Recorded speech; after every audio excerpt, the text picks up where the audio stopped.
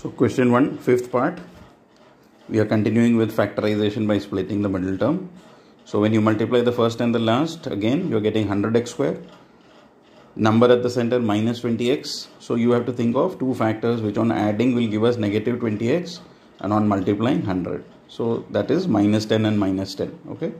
And then I have already explained to you the procedure that you will take common in the first two. 10x is common, 10x minus 1 here minus 1 is common 10x minus 1 both the brackets are same so you will combine this. And therefore here also we find that both the factors are identical so therefore the values of x will also be same right? So you understood how to find out the value of x by splitting the middle term.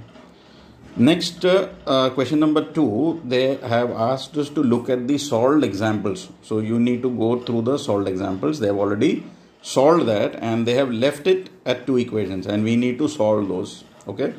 So you need to read those word problems and you can go through those solved examples to find out how they have made this equation. At the moment they are asking us to solve these two quadratic equations further. They have not solved this in the quadratic equation uh, in the solved example. Now how do we do this? Now when you multiply the first and last you are getting 3 to 4 that's the product. And when you're adding you're getting minus 45 okay so uh, if it is small numbers you can do it orally but if the numbers are big and you cannot find out the factors so the method is to find out the prime factors of the product. So what is the product here? 3 to 4 x square. So what i need to do is find out the factors of 3 to 4 okay?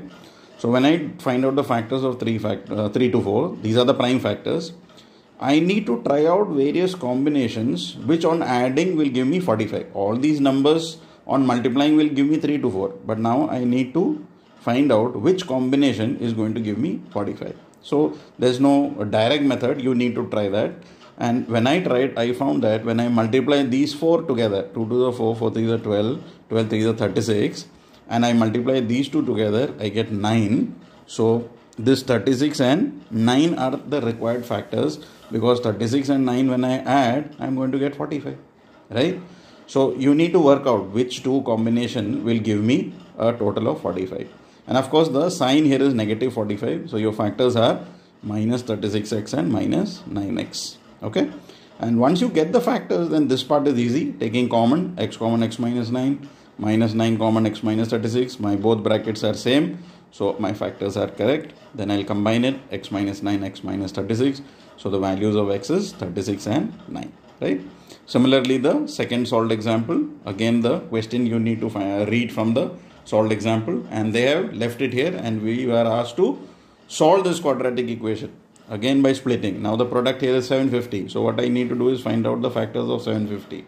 So I've got the factors here and we'll have to work out some combination so that I get 55, negative 55. Okay, so I have worked out a combination here. 2 5s are 10, 10 and 3 is 30 and 5 5 are 25 so this is giving me 30 and this is giving me 25 so 30 and 25 when i add is giving me 55 so you need to work out this okay? Factors you will get.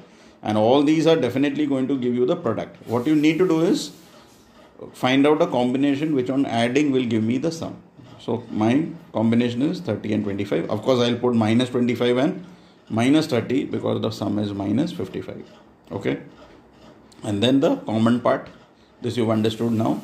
And then you will find the factors. And once you find the factors you will get the two answers 25 and 30 okay? So these are this is the how we solve this by splitting the middle term. Then moving on to that word problem that is question number 3 okay? So what is the question says find out two numbers which on adding will give me 27 and on multiplying will give me 182 so there are two numbers involved. One is the two clues that they have given is that when you add you have to get 27 when you multiply you have to get 182 okay so we are assuming let the numbers be x and y and the total is 27 and when you multiply you are getting 182 these are our two equations. But remember this is not linear equation in two variables. So ideally you should have only one variable. So i have used two variables but i can replace the value of y here so that i get in one variable and it becomes a quadratic. Okay? So x plus y is 27 so the value of y is 27 minus x. I'll put the value of y here. So x into 27 minus x is 182 so when you open the bracket you get minus x square plus 27x minus 182 is 0 and then like before we'll split the middle term. So i found out the factors of 182 i've got here okay 291 7 and 13 when i multiply 7 and 2 i'm getting 14 and i'm arriving at this conclusion that 14 and 13 are the factors because when you add you have to get 27 right? So i've got the factors here 14 and 13 okay so 14 and 13 will give me a total of 27 on addition. Again taking common. Okay the factors we are getting x minus 14 and minus x plus 13 equate both the brackets to 0 you get the value of x as 14 and x as 13 okay? So what are the two numbers? If i am assuming that the first number is 14 then the second number will be 27 minus 14 that is 13 if i assume that the first number is 13 the second number will be 27 minus 13 is 14 so the two numbers are either 14 13 or it could be 13 14 okay? So this is how we solve this word problem i'm sure you will be able to do all the word problems by using this method. Because here all the sums are being solved by splitting the middle term. We haven't used any other formula besides splitting the middle term